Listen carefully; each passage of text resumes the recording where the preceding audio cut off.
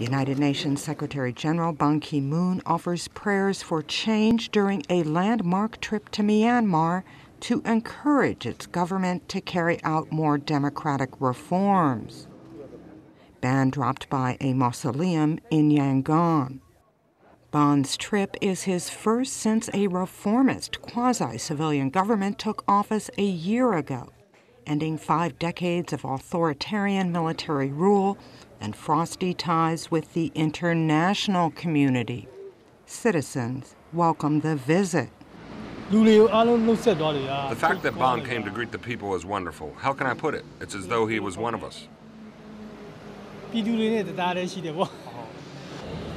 here now, so I think something will change. But I don't know what. The government, which is still led by remnants of the former junta, has stunned the outside world with economic reforms and unprecedented engagement with the West and the political opposition. Deborah Lutterbeck, Reuters.